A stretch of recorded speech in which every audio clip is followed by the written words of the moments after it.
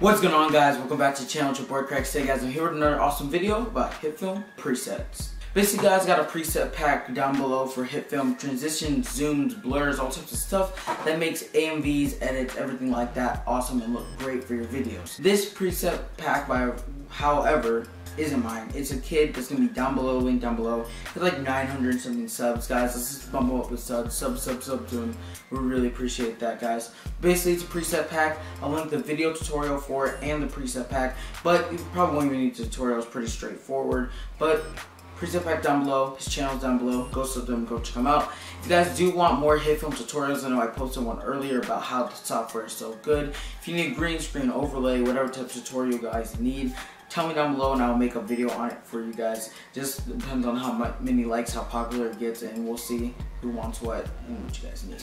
Anyway, like, subscribe, comment down below. Go check them out down below in the description because he's really awesome. Don't forget to download the preset pack. And see you guys next time on the channel. Peace.